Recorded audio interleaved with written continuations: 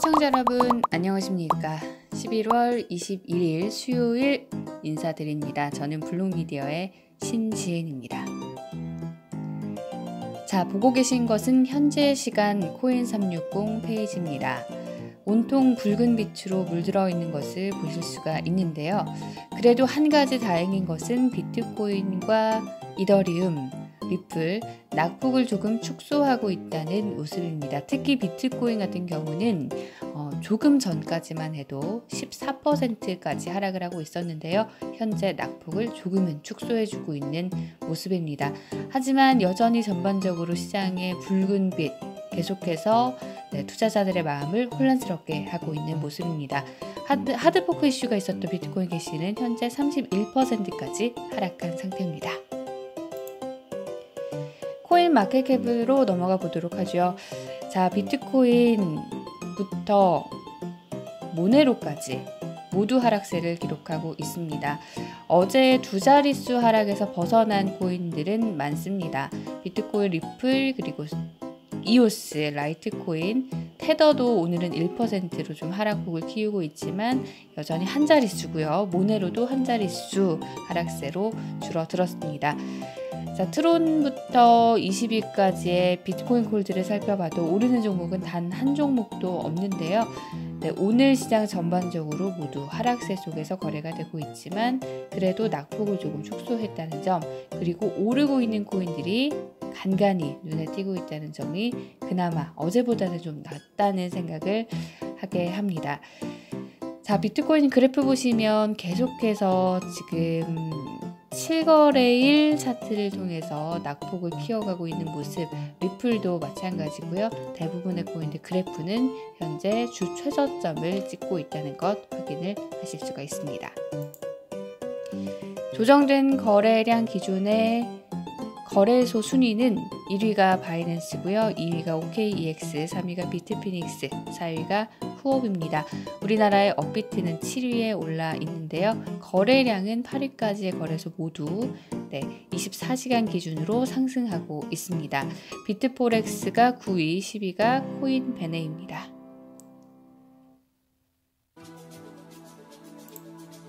자, 조정된 거래량이 아닌 보고된 거래량으로는 비트맥스가 1위 23%의 거래를 차지하고 있고요. 비트플라이어가 2위 15%의 거래를 차지하고 있습니다. 그 밖에 바이낸스 5%대, 빗썸 4%대 거래를 기록을 하고 있고요. 후오비가 8위 3.04%, 우리나라의 코인빗 2.45% 거래량을 차지하면서 10, 위를 이어가고 있습니다. 업비트는 어, 보고된 거래량 수준으로는 14위를 기록 중입니다. 빗썸에서도 현재 가격은 약세를 이어갑니다. 자, 다만 국제시세와 마찬가지로 현재 비트코인이나 리플, 이더리움 네, 두 자릿수가 아닌 한 자릿수의 하락폭을 기록을 하고 있고요. 비트코인 캐시는 7% 하락, 스텔라 루멘은 14% 하락, 이오스는 7% 하락 등 낙폭을 조금씩 축소하고 있는 것은 빗썸도 마찬가지인 것 같습니다. 그 밖에 상승하는 종목은 파워레저나 레이든 네트워크 토큰을 제외하고는 없는 것으로 확인이 되네요. 자, 그리고 확인하셨던 비트코인 캐시는 ABC 진영이고요. SV는 밑에 27% 하락세로 거래가 되고 있습니다. 자, 업비트의 가격을 확인을 해보겠습니다. 현재 비트코인 캐시 입출금 지원이 개시됐다는 소식을 공지사항에 띄워놨네요. 비트코인은 8% 하락한 515만원 선에 거래가 되고 있고요. 리플도 7%대 하락하고 있습니다. 자, 마찬가지죠. 낙폭은 조금씩 축소해 나가고 있는데요. 업비트에서는 상승하는 종목은 찾아볼 수가 없네요.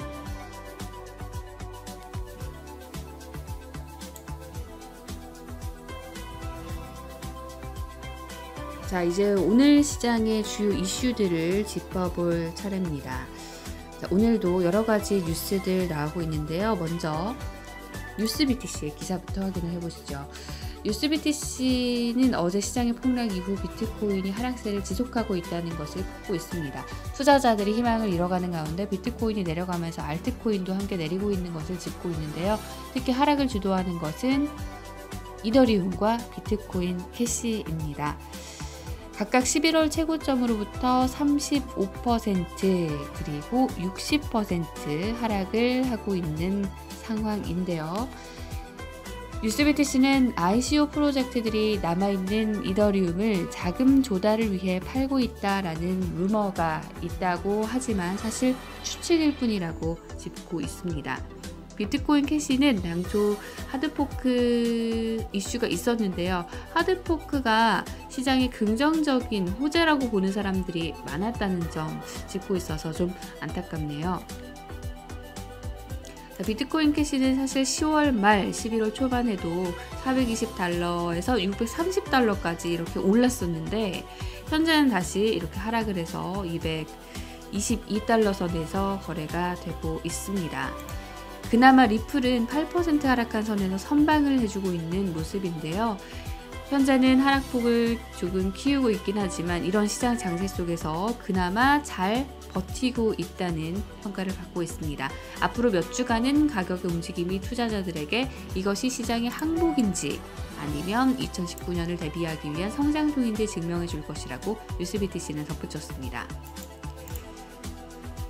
시장이 하락하고 있는 만큼 호재보다는 악재가 많은 상황이지만 차근차근 짚어보시면서 주요 이슈들 파악해 보도록 하겠습니다. 자, 먼저 IMF 이야기인데요. 이것은 제, 저희도 전에 드렸던 기사입니다. 세계 중앙은행들이 중앙은행 발행 디지털 통화에 대한 아이디어를 논의하기 시작했다라고 국제통화기금 크리스틴 라가르드 총재가 싱가폴 핀테크 페스티벌에서 이야기를 했었는데요. 자, 디지털화의 새로운 바람이 불어오고 있다. 돈 자체의 개념이 변화하고 있다. 더 편리하고 사용자 편의 시스템으로 갈 것이다. 라고 말을 했고요. 그러나 암호화폐에 대해서는 여전히 부정적이었습니다. 암호화폐는 기술 속에서 믿음을 찾고 있고 그런 면에서 투명하다고 믿을 수 있겠지만 나는 여전히 확신할 수 없다면서 적절한 규제가 필요한 상황이라 라고 말을 했습니다.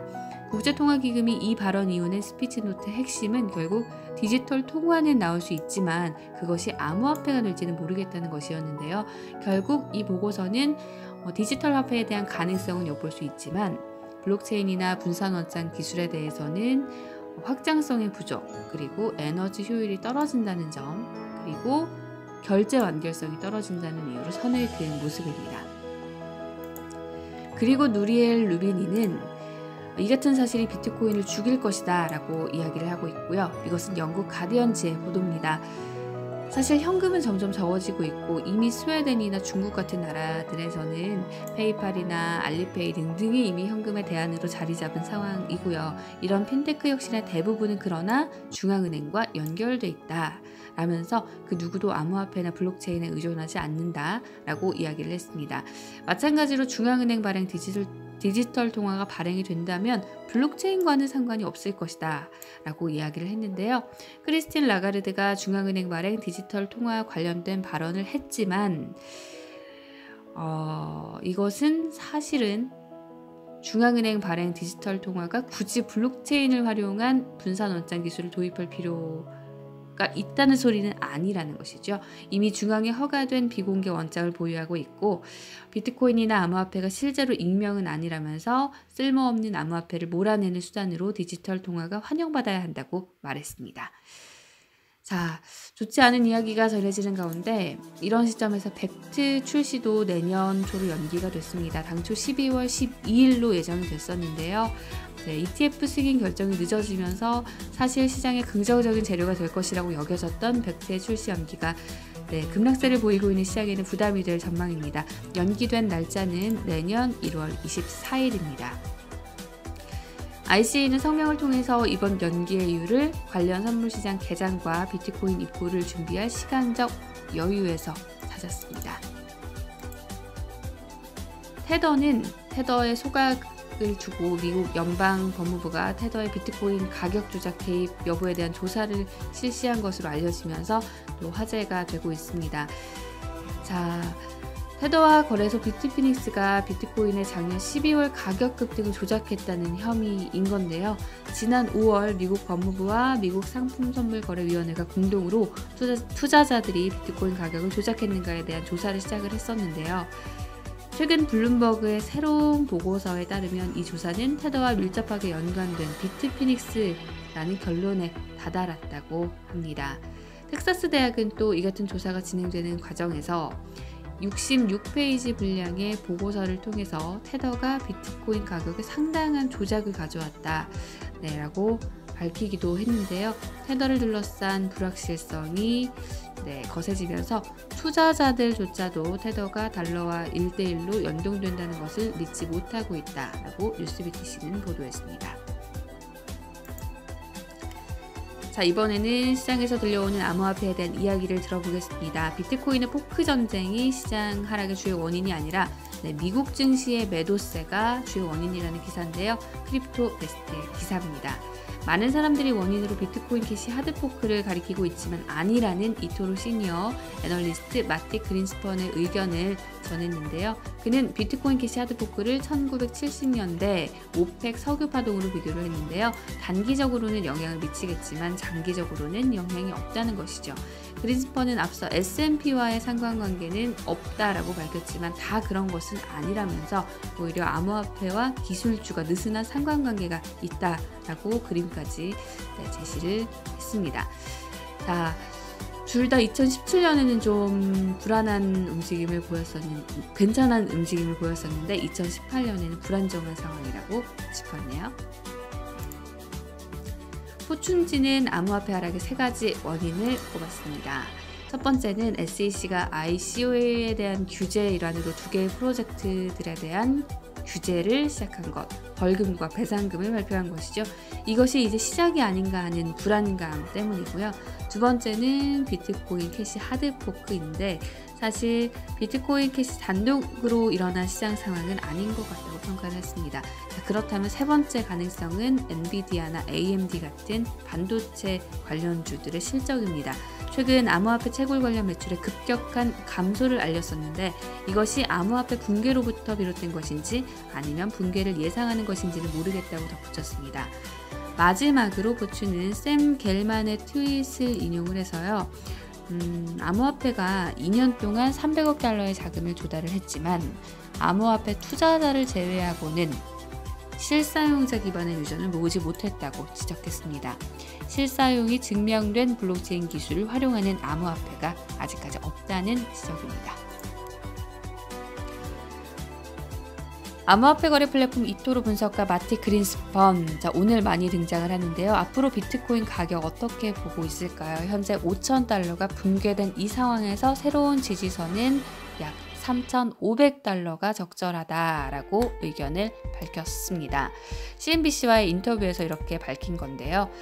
6,000달러 지지선이 붕괴되면서 상식적으로는 5,000달러 정도를 다음 지지선으로 볼만 했지만 그러나 5,000달러마저도 무너지면서 다음 지지선은 3,500달러라고 설명을 했네요. 자, 시장에서 현재 굉장히 많은 의견들이 나오고 있는데요. 자, 다 전해드리지는 못했고요. 자세한 것은 저희 블록미디어 홈페이지를 통해서 기사로 확인하시면 더 좋을 것 같네요. 마지막으로 옵션 거래소 12월 비트코인 선물 가격 확인해 보시죠. 11.09% 하락한 4,270선에 마감을 했고요. CME 거래소에서는 네, 현재 아직 개장 중인데요. 11.17% 하락한 4,295선에 거래가 이어지고 있습니다. 자, 이 시각 현재 다시 한번 가격을 확인을 해 보겠습니다. 코인 360 페이지 현재 가격 흐름을 살펴보시면 네, 조금 시차가 있는 것 같네요. 네, 현재 10% 비트코인 하락, 하고 있고요. 리플도 10%대로 하락폭을 조금 늘리고 있습니다. 비트코인 캐시 여전히 30%대로 하락을 하고 있는 가운데 대부분의 코인들 빨간불 켜고 있다는 거 확인을 하시고요. 자, 시장이 현재 많이 불안정한 상황입니다. 이럴 때일수록 불안해 하시기보다는 저희와 함께 계속해서 흐름 확인해 보시죠. 자, 저는 내일 다시 인사드리겠습니다. 시청해주신 여러분 고맙습니다.